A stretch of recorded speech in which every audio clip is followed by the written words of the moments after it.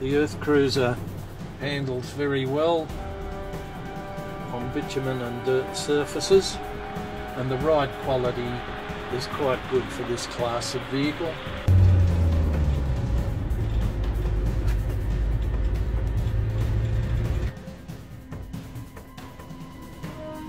And off-road ability is almost unbelievable as you'll see from the following footage.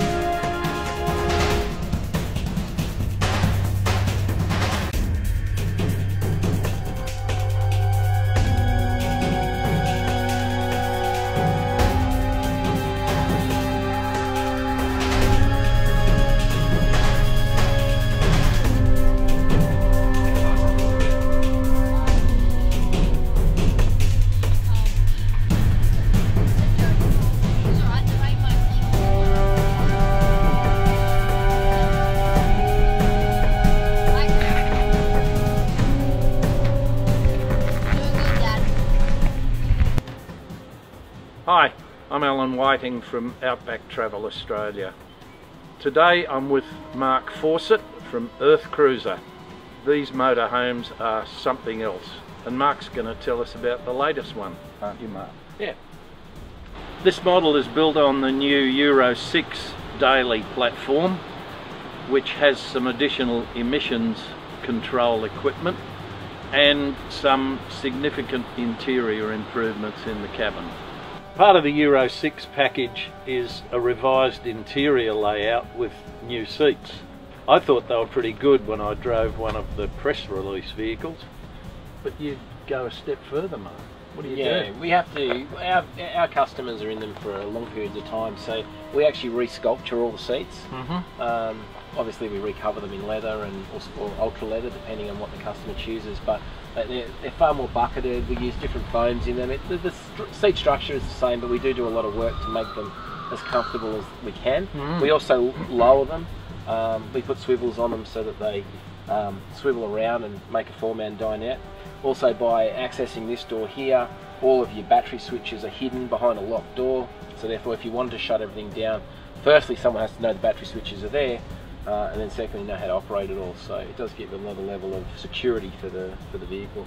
Um, interior, other than that, we put our control system up here, um, our, our touchscreen system, which is the same in the back. Uh, and this one's got a 1080p camera in there, and I'll show you the camera systems later. This has got a full tracking system on this, um, both visually with cameras and also through GPS.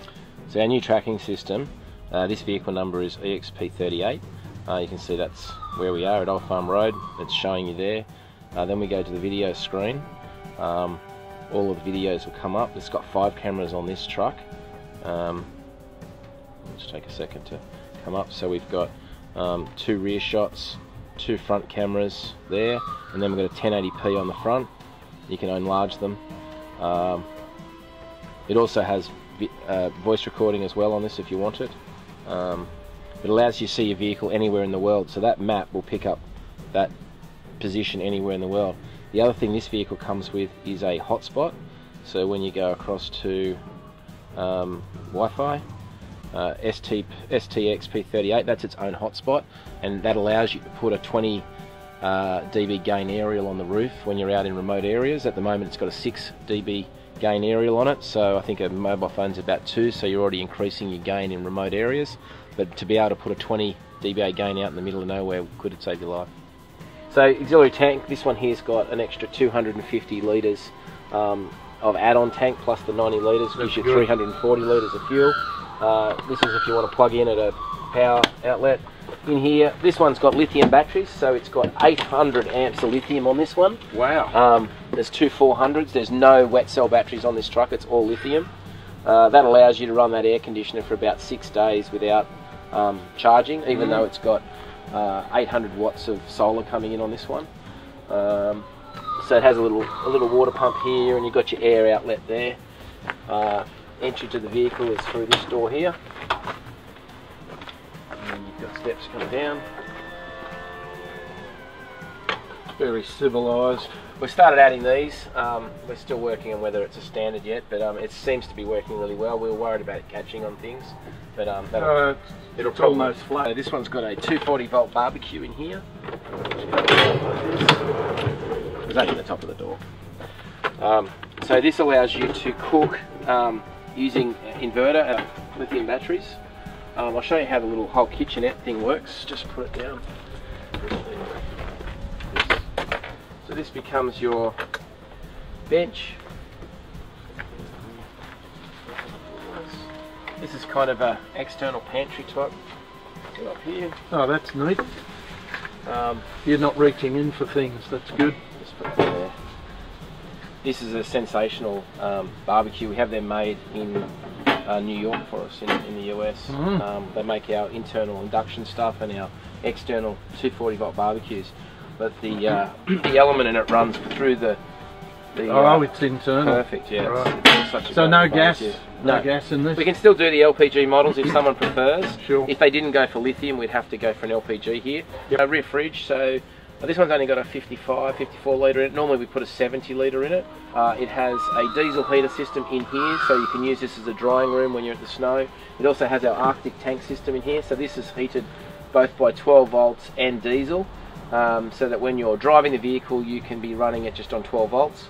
Uh, when you're parked for long periods of time, you would heat this using the diesel system, um, separate to the cabin uh, system, and that would allow you to keep this water up to 40 degrees. Also at the back of here we have uh, access to our uh, high pressure water blaster. This vehicle comes with a high pressure water blaster so that you know when you do completely fill the underside with mud and you've got to get under and see Mm. what's going on, you can just get the blaster out, which uses the least amount of water because it's got the small nozzle. Yes. So on the back we have um, two spare tyres. Um, we have either fuel or with the Euro 6 we have AdBlue, so this is actually full of AdBlue. Yep. Um, so if you're in remote areas, you've got another 30 litres there.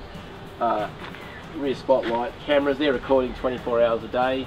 Um, air conditioner, so this is the air conditioner that we fit to uh, to cool the vehicle. We've tested that in some quite uh, quite hot nights with four people in the vehicle, and it works really well. Good. Uh, rear winch.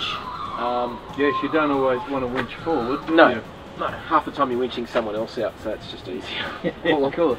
Uh, MAXTRAX uh, holder. That MAXTRAX holder also becomes a wood carrier. Um, rubbish bags. On this, uh, we pretty much fit most of our recovery gear in here. Um, we use it mostly for tools and Tools, spares. yep. Yeah. We use a 40 volt uh, Stihl chainsaw. Um, this one's got a vacuum cleaner in it. So this is a new um, thing for us. This is our external shower. What it allows for is to have a curtain come all the way Oh, around. nice. Yeah, so it just gives you it gives you some more storage in here. Little mirror. Yeah. That's cute. Love it. Yeah. We don't have a lot of uh, vertical spaces to put mirrors, so there's one and we've got another one inside, um, which has to have the door come down for that to work. So you just pull all this down and it becomes a curtain and if you're a bit more modest, that's what you can use. But most people are 400 miles from anyone, so, they So it doesn't really matter, does it? No, not really. Just moving forward, we've got a scrub bar here which just protects your pillars, bash them Yep. through the bush. It also gives us a place to mount all the aerials. So we've got a, a UHF aerial, an AM/FM aerial, and then we've got our uh, Wi-Fi aerial. Then we've got the big light bar. Uh, we have a uh, 17,500 pound winch in there, more cameras uh, on the front here, and then we're running the Lightforce driving light. Earthcruiser is really well known for having quality wheels and tyres. These look classy. Yeah, so the, the wheels are ours. They're made um, made overseas for us. They're a, a fully forged alloy rim. We make them for the Ivecos, the Fusos, and the Isuzus, all in 17 inch. Um, the tyres we bring in from the States, they're a Toyo um, mud tyre, which um, allows us to have a, a 1950 kilo rating on. The other thing you notice on here, we, we're using um, cap uh, TPMS monitors. So Mhm. that comes standard with an Earthcruiser now where the tyre pressure monitoring system comes up through our touch screens. Also we have the uh, the Bilstein shocks and they're specially built for Earthcruisers. So they've been really good for us. They've um, spent a lot of time developing the exact valving for us on these on these vehicles. To put the roof up, it's quite simple, just push the button.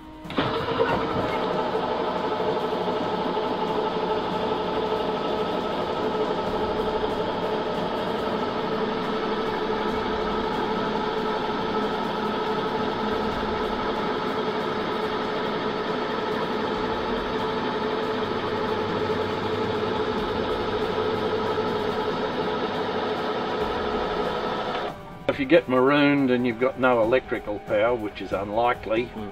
you can still raise the roof manually. Yeah, either up or down. There's a, a small screw under here. You take that out and you can undo it by hand. It's much quicker with a little electric drill. Not only not only do we allow for override on this, but every function we have, we, we try to have some sort of redundancy or a manual override. The awning has a manual override where you can wind it in by hand. The stairs you can wind in by hand. The toilet you can bring in and out by hand if you need to. So everything we try to look at is if it fails. Um, the wheels at the back, if the little winches fail, there's an override for that. So yeah, everything that we build, we try to say, okay, now what happens if you've got nothing? Hmm. Then what have you got to do? So Yeah. yeah, we try to look at that for everything. And when you come in, uh, the first thing you can do is just touch that, which turns everything on. Uh, your main screen looks like this. We head for the lights, uh, bench light, table light, galley light, um, bed light, shower light, then you've got courtesy lights on the floor, and then these are external lights, so you don't have to turn them on at the moment.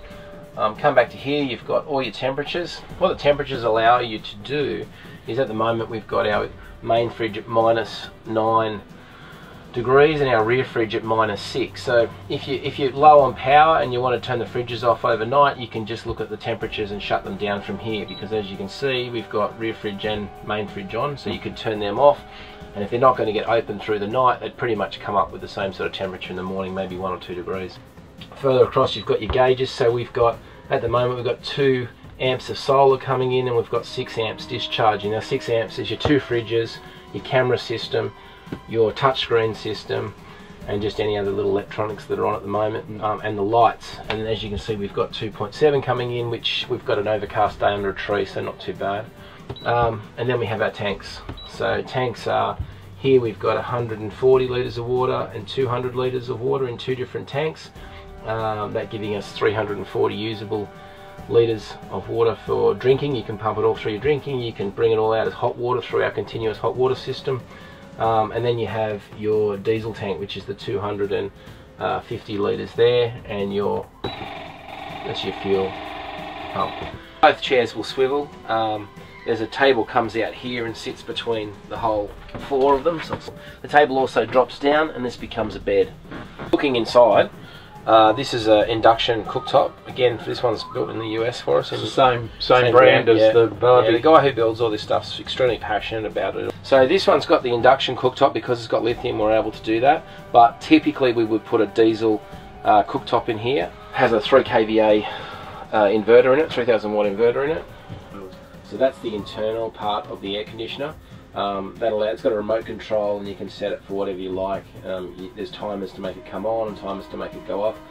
Now I know there's a loo and a shower, but it's pretty well hidden. Yeah, well we use this space, it doubles up as our entry. Um, So it's a wet area. It's a wet area. muddy boots. So if you remember, yeah, the old houses with the mud room, it's kind of Yeah, like that. course. So snow or mud, it's uh, it, you can dump everything there and deal with it later. Um, it's quite simple. I mean, the toilet's all hidden away, so if you have guests in here, they can't see anything. It's they're basically working walking through an entryway. Um, you just open that. It's a two-way hinge. Um, you go in here if you want to use it. The toilet comes out. And that's the toilet setup. Now, if you want to use this same area as a shower, um, you put the toilet away. Uh, just another little thing, the hideaway toilet roll. It, it actually um, has a little mechanism in it which allows it to come in and out so it doesn't get. Oh, that's very marine. That's a good idea. Yeah, it's all sealed so you don't get wet toilet paper. Um, so use the, the shower. This comes down from the roof.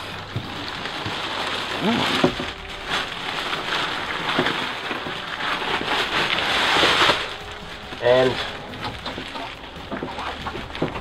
that's it. So another one in the Earth Cruiser family. Yeah, You're doing a great job. thanks.